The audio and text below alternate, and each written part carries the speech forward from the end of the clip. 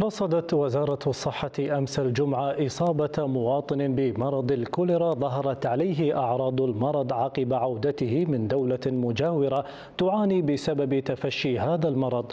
وقالت وزارة الصحة إنه تم تقديم العلاج اللازم للمريض في إحدى المستشفيات التابعة للوزارة وبعزله حتى استكمال الشفاء كما تم التعامل مع المخالطين له حسب البروتوكولات المعتمدة وبمتابعتهم للتأكد من سلامتهم وطمأنت الوزارة أن فرص انتشار المرض داخل البلاد غير واردة مبينة أهمية اتخاذ الحيطة والحذر للمواطنين والمقيمين عند السفر لأي دولة يتفشى فيها الوباء وبالتأكد من تجنب مصادر مياه الشرب والأطعمة غير الآمنة. وأهابت الوزارة بالذين تظهر عليهم أعراض مشتبهة مثل الحرارة خلال سبعة أيام من وصولهم من إحدى الدول التي يتفشى فيها المرض وبالتوجه إلى أقرب مركز صحي لتلقي الاستشارة والعلاج اللازم. متمنين السلامة للجميع.